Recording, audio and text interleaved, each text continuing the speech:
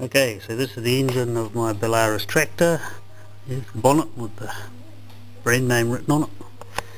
Uh, the top of the inlet manifold here is uh, the thermostart, sorry, the old flame start that's coming out. I've already disconnected all the cables and pipes and unbolted it. And I'm going to put in its place this thermostart which I've made a mounting plate with a thread in it it in. So it's going to sit there like that. Bolts in there, electrical connection there, and I'm going to run a pipe from this little fuel container here down onto there.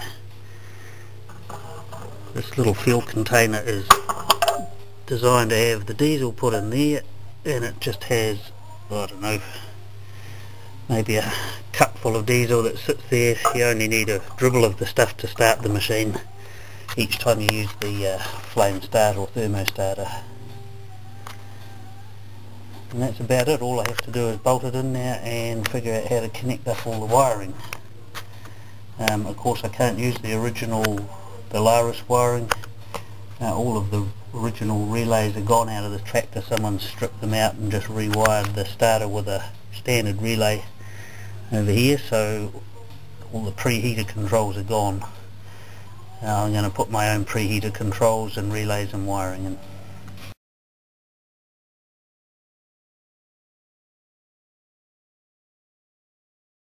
Okay, this here is the old flame starter, the original Belarus tractor part. Uh, the, the heater elements inside that cover at the bottom there, this, this thing where I'm pointing with my finger, uh, it, fuel goes in there where I'm pointing with my thumb. Uh, I think that tab there is meant to be the one that heats the coil and that tab there is meant to be the one that opens the solenoid to let the diesel through. Uh, I'm having trouble with this one so I'm replacing it with the thermostart. The thermostart is automatic. As soon once it's heated up to a certain temperature, uh, valve automatically opens and lets the diesel drip through. Right, here's a close-up view of the thermostart. You can see I've got a brass connector can put on here so I can connect up the diesel line. It's got a thread on there which turned out to be 7 8 inch UNF which was a bit of a pain to find something to fit it. Uh, the tab there that sticks out for the electrical connection, that one there, uh, was made to have a push-on connector. I've drilled it and tapped it to put a screw in it because push-on connectors fall off vibrating tractors. And at the business end you probably can't see very well in there.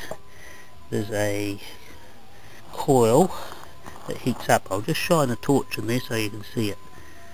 There's a you can just see the coil in there.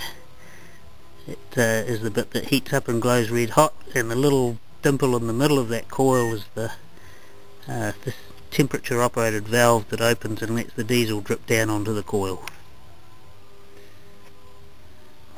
So that's pretty much a thermostart. Go to woe uh, and that's sitting upside down at the moment. It would normally be mounted up that way. Okay so this is the timer that I bought off eBay. Uh, it was a few dollars, I can't remember exactly, but not enough to be worth worrying about.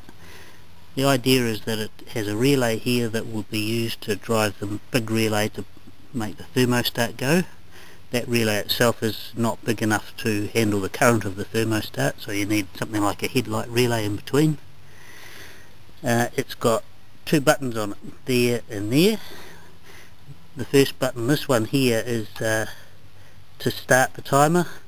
And if you decide you don't want the timer to run for its full session that button there is to uh, stop and reset the timer.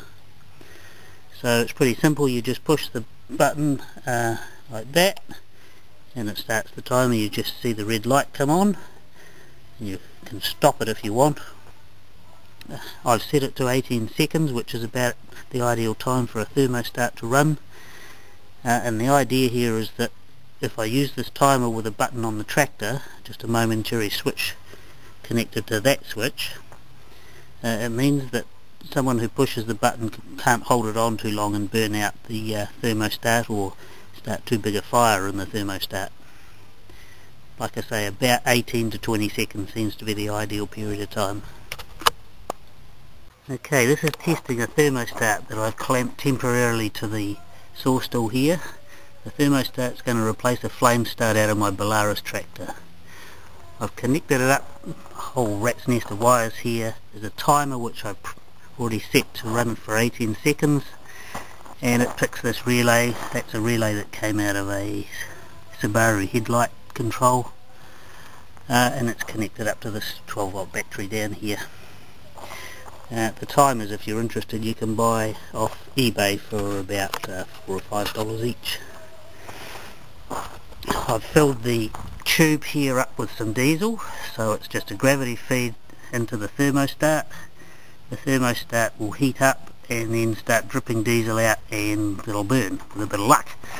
So, okay, so we'll start the timer just by pushing that button and we'll watch from around here. We should see the thermostart glow hot. There it's glowing now, you can just see the orange glow through the holes. Dripping diesel and burning it. Yeah, so that's well and truly alight. The timer's just switched off. I just got to watch that it doesn't set fire to the plastic. There we go. So that's the thermostart working.